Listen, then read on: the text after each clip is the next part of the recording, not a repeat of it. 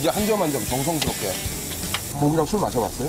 아니요. 저 오늘 아까 충격받은 게 저는 술 많이 마시는 거 한 번도 못 봤거든요. 아 진짜? 술, 예, 한 번도 못 봤는데 술 잘 드신다는 얘기가 있어요. 술 잘 먹어요. 그렇죠. 섭섭한 거죠. 아. 캐나다에 국작업하러 20일 가까이 갔는데 네.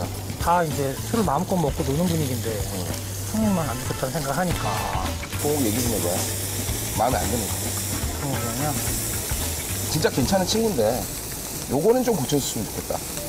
비밀 보장이 돼야 돼요. 아니 그럼 뭐. 아시겠지만 동영이 또 이렇게 피곤하거나 이럴 때는요 성격이 성격이 힘들어요. 짜증 막 내고. 네, 아우, 감당하기 힘들고 재미없는 거 계속 하는 거 있잖아요. 아시죠?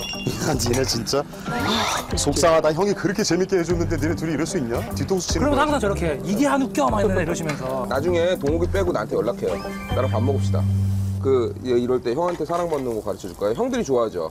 저는 호불호가 많이 갈립니다. 나는 호예요. 호예요? 야, 나는 호예요. 근데 그럴 때 되게 사랑받고 싶으면 어떻게 하냐면 아까 무슨 냉채가 제일 맛있어요 했을 때 뭐라고 해야 돼요? 어, 동욱이 형이 만든 냉채.